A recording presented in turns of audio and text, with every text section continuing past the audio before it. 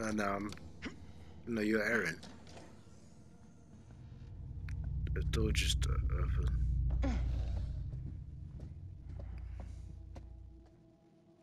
Who you, Erin? Yeah. Look.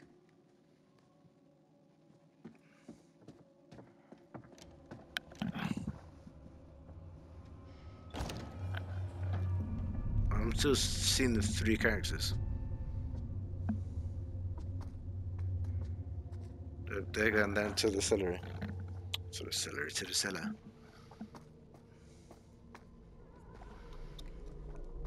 Oh, we're finding Charlie. We're investigating together. You can hear the music, no?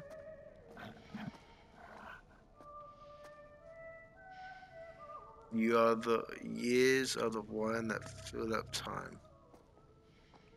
Yeah. So the one Look. It's Charlie. Is he all right? Who you playing as? Erin. It is him. Charlie. We need to get in there before something happens.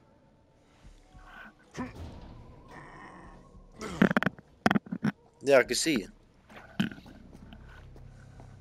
You guys, look at this. No. That's Charlie's. Goodbye. Du'Met must have got him. No, we're trying to break in. Years are the wine that fill the cup of time. One of these bumbles got a date on them. Check this out. It's a puzzle. A riddle of some sort. Makes sense, right? The tricks and traps is playing games. Yeah, not a fan of life or death escape rooms.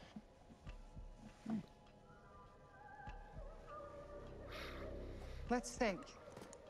Other than H.H. Holmes, who else played these sort of games? We can profile when we have the time and option. Red one.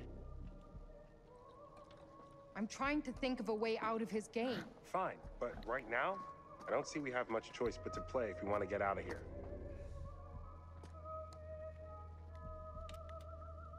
No, um, I didn't mean to. First number is one.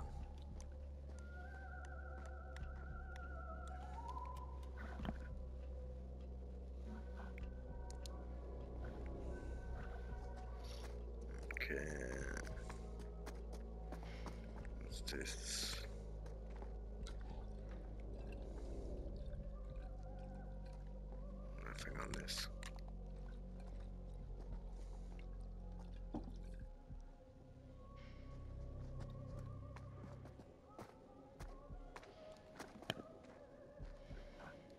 Maybe it has something to do with these dates on the bottles. Yellow six? Last one six.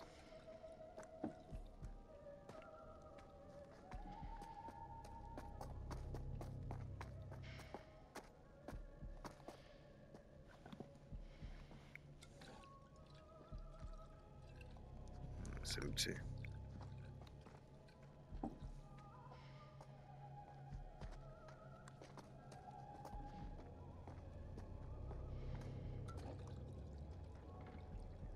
Blue eight. Eight six. Should need the middle number now. One eight six.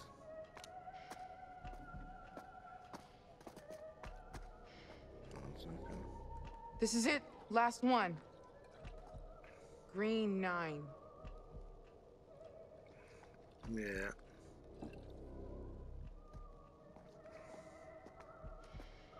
Uh,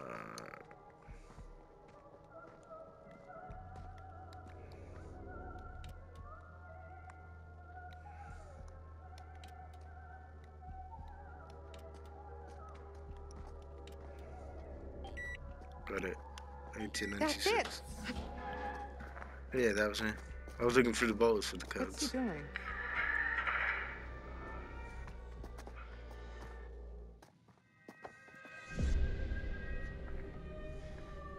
It's Charlie. Look, It's Charlie.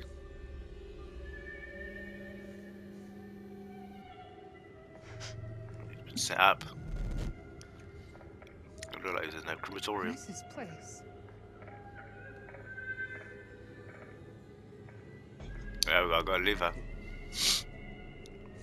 top has three fire. Wait, Uh, what's happening? Look at this. uh, just give me a it has to be connected to where Charlie is. Okay, the first one, the top has three fire um, symbols, and the one at the bottom has one We fire to get him symbol. out of there. Yeah, but how? We don't even know where he is. I Look, I think it might be a trick right now. You're surrounded by ash. There's a toolbox there. Can you see it? Behind you. Next to the statue on his hell is left, that? It's one of those there's a toolbox. things.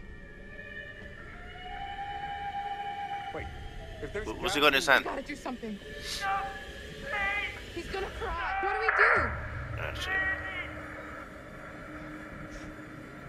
Uh, it's telling me to hold it, to pull down. Do I leave it? I left it, I left it. If we don't do something, Charlie's dead.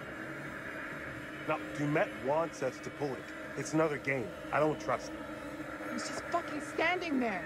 Do something, Charlie. There's a toolbox. Ah, shit.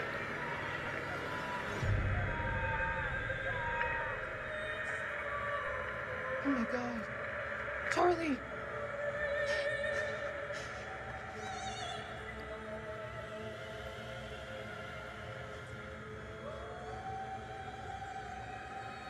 That could have been done, mate. I could save. Uh, now go guilt.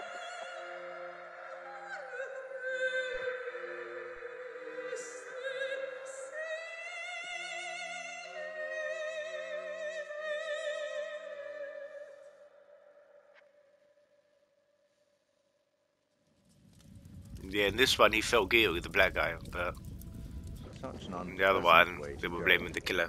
So. I have to wonder how the group will fare without their leader.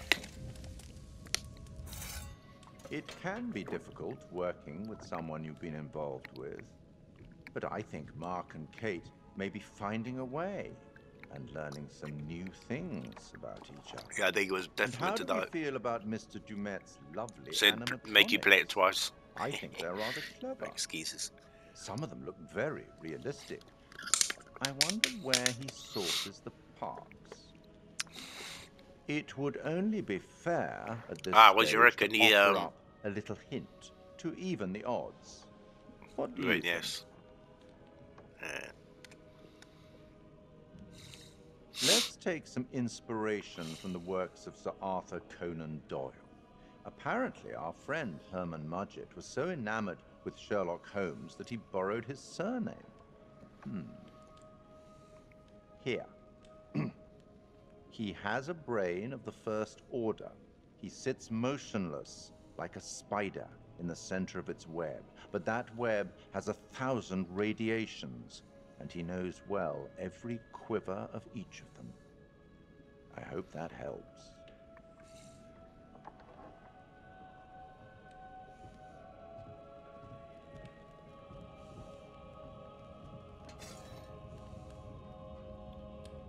Better get back to things. Best of luck.